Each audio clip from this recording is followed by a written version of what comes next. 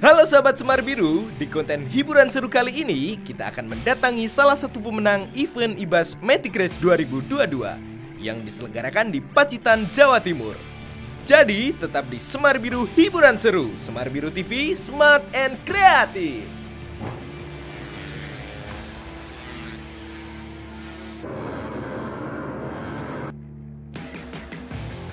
Bapak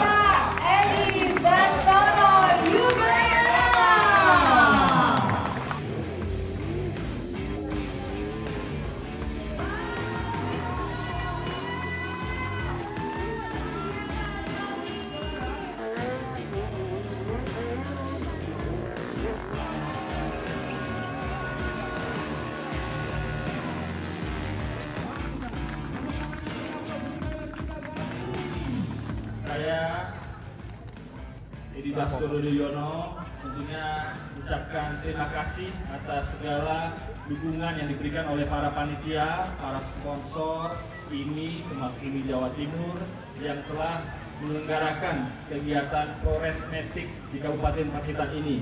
Saudara-saudara semua yang dari tanah air, Pacitan, kota 1002 yang penuh dengan pesona budaya ini yang selalu melekat di hati masyarakat. Selamat bertanding, semoga Tuhan mengabulkan cita-cita dan juga menyelamatkan kita dari segala mara bahaya. Assalamualaikum warahmatullahi wabarakatuh.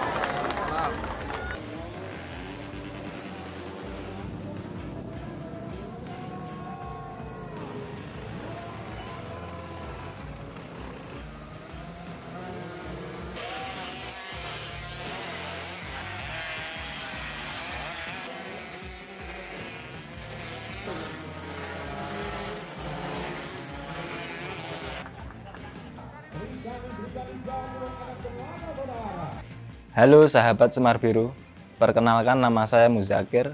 Saya dari Desa Gayuhan, Kecamatan Arjosari, Kabupaten Pacitan. Saya adalah salah satu peserta di event IBAS Matic Race 2022 di Kabupaten Pacitan. Di event kemarin, tim saya mendapat juara satu di kelas bebek 2 tak 125 cc lokal Pacitan dan juara dua di kelas 2 tak 116 cc lokal Pacitan dan juara tiga di kelas 2 tak 116 cc dan 125 cc Sekarisidenan Madiun.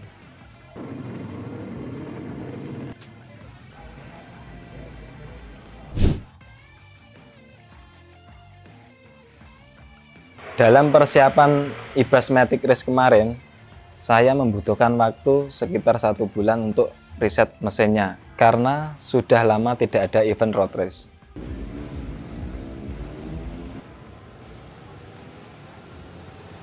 Awal mula saya tertarik di dalam dunia road race karena sejak kecil sering menonton event road race. Dan awal saya masuk di dunia road race sekitar tahun 2007 sampai sekarang.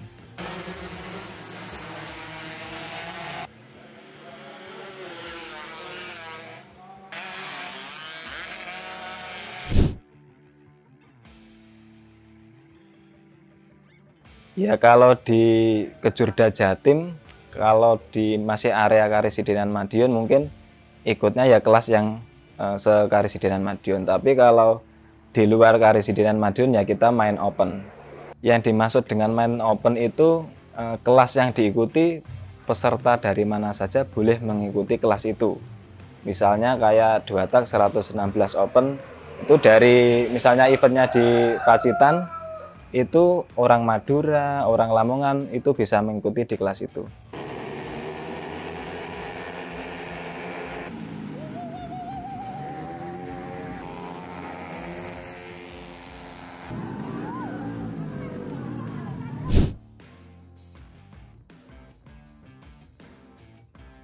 Saya pernah juara di Kediri pernah itu Grand Final Premac 2013. Terus mungkin ya area Karisidenan Madiun kayak Ponorogo, ya sekarisidenan Madiun saya pernah juara.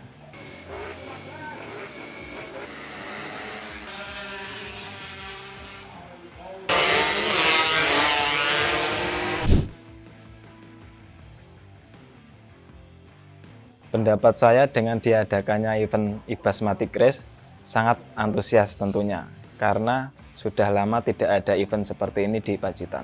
Saya berterima kasih kepada Mas Ibas yang sudah menyelenggarakan event Ibas Matic Race 2022 di Kabupaten Pacitan.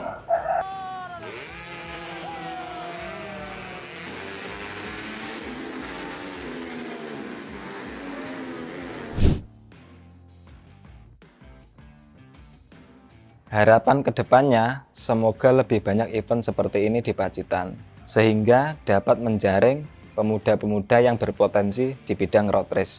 Dan semoga pemerintah juga selalu mendukung event road race di Kabupaten Pacitan.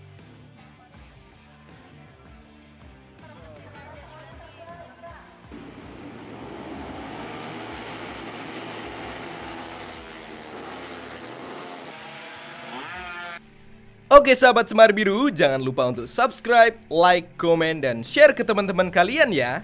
Semar Biru hiburan seru, Semar Biru TV, smart and kreatif.